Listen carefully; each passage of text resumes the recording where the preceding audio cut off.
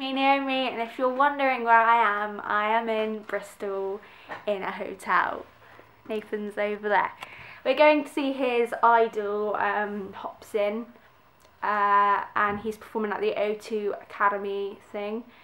So we travelled up on the train and we roamed around a little bit today, but we're going to be sightseeing tomorrow, or mainly just going shopping. So yeah.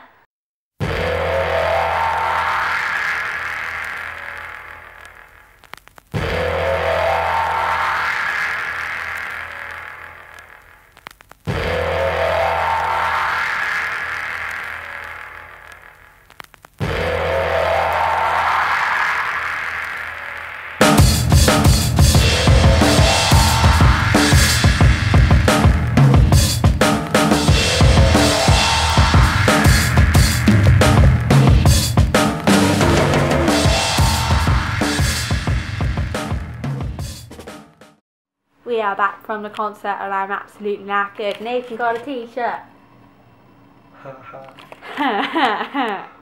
hey, it's the morning after Hopsin and we were watching all of our videos that we filmed reminiscing already and today we're going back home but we're going to be shopping.